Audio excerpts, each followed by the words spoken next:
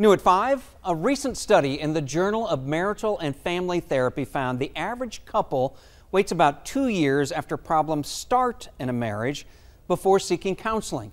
And that's the subject of our Live Life Well tonight as we focus on men and their mental health in general.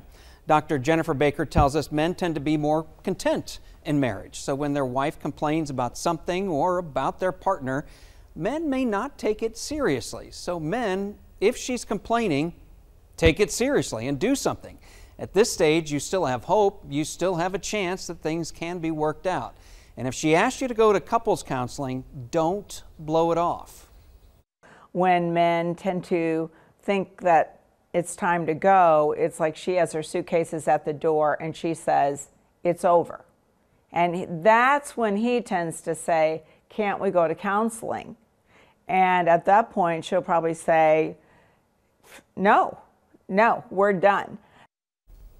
Baker says a big red flag is when there's no affection or intimacy in your relationship. Also, if you're you're not talking like friends, you're not having fun, those are warning signs too.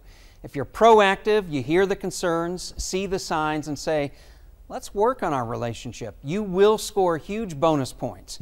Meantime, if your wife won't go to counseling, you should go on your own. Dr. Baker has a blog post on this topic. We've posted that on ky3.com.